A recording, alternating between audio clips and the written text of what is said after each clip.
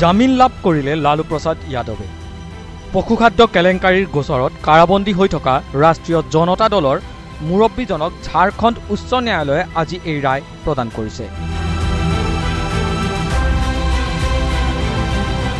ৰায় অনুসৰি কেলেংকাৰীটোৰ দৰণ্ডা ট্ৰেজাৰী গোচৰৰ পৰা তেওঁক জামিন দিয়া হৈছে।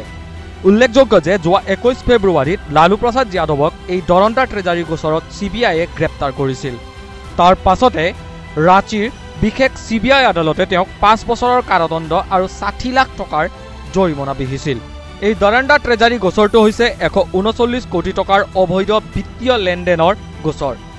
ই বহু চৰ্চিত পশুখাদ্য কেলেংকাৰীৰ এটা অন্যতম অধ্যায়। ইয়াৰ উপৰিও মুঠ নশ পঞ্চাছ কোটি টকাৰ এই কেলেংকাৰীটোৰ আন বহুকেইটা গোচৰত লালু প্ৰসাদ যাদৱক দোষী সাব্যস্ত কৰা হৈছে। আটাইকেইটাতে তেওঁ জামিন লাভ কৰি আছে। News Desk Report, Northeast Now.